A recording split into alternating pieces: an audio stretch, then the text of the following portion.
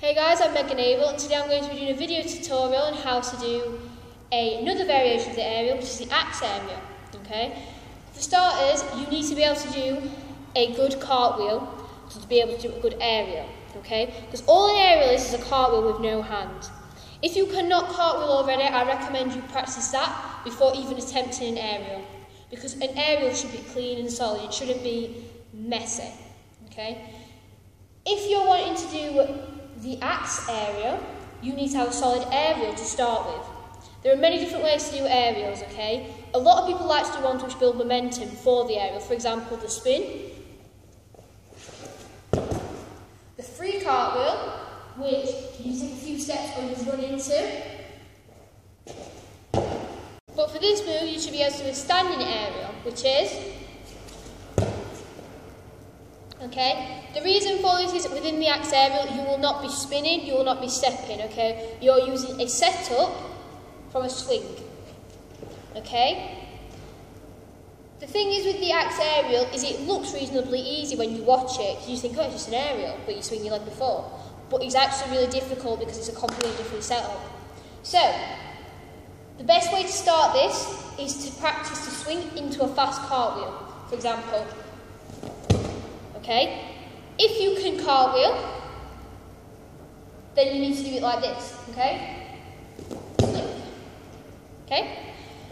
This gets you used to the way your body will be during the aerial, okay? As you do it, first of all, you need to know how to do a good swing, okay? This back leg swings up, back, for the momentum side of it, okay? If you just do this, you will not get any momentum. You need to swing the leg up, momentum. This other leg will be jumping during it, like that, okay? This is so you get the height on the aerial rather than just going, because you'll get no height, okay? You'll have a really low aerial and you will not be able to get your body round to land here. So, for this move, you will have to put them both together. You have to combine the two, the swing and the jump together to get round. So, like I've done previously, you can do it here cartwheel. That's how you start it. Then you can either do it two ways. You can practice going into the cartwheel and taking your hands off midway. Okay? Or the opposite way around. You start with an aerial, if you feel you need to, you will put your hands down. Like that. Okay?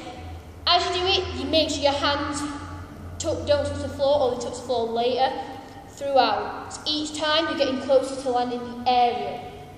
Okay? When you put them together, the swing, the jump, you should be able to get round, okay? Don't have your arms out here because that will stop your momentum. Okay? I'm going to show you an example of how to do an axe aerial now. So from here, there. If you watch, I swing my leg quite high. Okay? It's not down here. It's reasonably mid for this move, you need to make sure if you aerial this way, it's always the back leg that swings, not the front leg. Okay, the back leg swings through this way. If I, aerial this way, back leg. Okay. I hope this video helped.